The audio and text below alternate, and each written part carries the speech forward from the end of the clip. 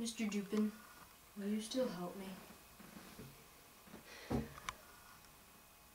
I have an appointment of great importance this afternoon. Until then, I shall spend my time in search of your sister. But let me press one thing upon you, Edmund. You have the knowledge that will enable me to resolve this affair. I do? But though you have these details, only I have the ability to understand them.